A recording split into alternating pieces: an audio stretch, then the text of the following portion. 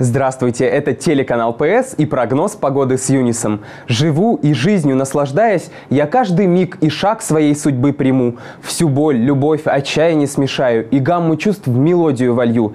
И пусть сопровождает музыка меня повсюду, мои стремления, надежды и мечты. И если вдруг исчезну незаметно, как тихий шелест от падения листвы, пусть кто-нибудь угаснувшую жизнь заметит и соберет кусочки мира моего. И этот мир скитаться будет, словно ветер, и каждый, каждый каждый пусть услышит безмолвное томление его. И от лирики к иронии о погоде на 8 мая в четверг в Архангельской области. В Котласе сегодня плюс 6, малооблачно и без осадков. Ветер умеренный. В Плесецке пасмурно, также без осадков. Температура воздуха плюс 4, ветер слабый. В Вельске ясное небо, слабый ветер, плюс 7 на термометре и вечером возможен дождь. Ну а теперь о погоде в самом Архангельске. Утром пасмурно, ветер слабый, температура воздуха 0 градусов. Днем потеплеет до плюс 1.